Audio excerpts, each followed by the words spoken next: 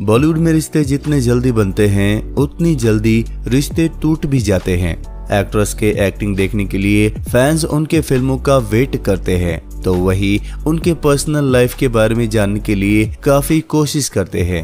बॉलीवुड में ऐसे कई एक्ट्रेस हैं जिनकी दो दो शादियाँ हुई है। तो ऐसे भी स्टार्स हैं जो शादी का सुनते ही भाग जाते हैं। ऐसे कई स्टार्स हैं जिनकी उम्र पापा बनने की भी चली गई है, पर अभी तक शादी नहीं किए हैं। जी हाँ हम बात कर रहे हैं उन फिल्मी स्टार्स की जिन्होंने अभी तक शादी नहीं की है। अक्षय खन्ना इस लिस्ट में सबसे पहला नाम आता है विनोद खन्ना के बड़े बेटे अक्षय खन्ना का। अक्षय ने अभी तक शादी नहीं की है। अक्षय ने बॉर्डर हंगामा जैसे कई हिट मूवीज़ में काम किया है। सैतालीस साल की उम्र में वे आज तक कुंवारे हैं। उदय चोपड़ा। इस लिस्ट में उदय चोपड़ा का भी नाम आता है। वे उनचास साल के हो गए हैं, पर अभी तक उन्होंने शादी नहीं की। बता दें कि उनका और नरगिस फाकरी का रिलेशन कई सालों तक चला, पर बात शादी तक आते आते दोनों अलग हो गए और उन्होंने फिल्मी जगत से दूरी भी बना ली है। तुषार कपूर। तुषार कपूर ने भी अभी तक शादी नहीं की है। वो बयालीस साल के हो गए हैं। हालाँकि सेरोगेसी के माध्यम से वे बेटे लक्ष्य के पिता ज़रूर बन चुके हैं।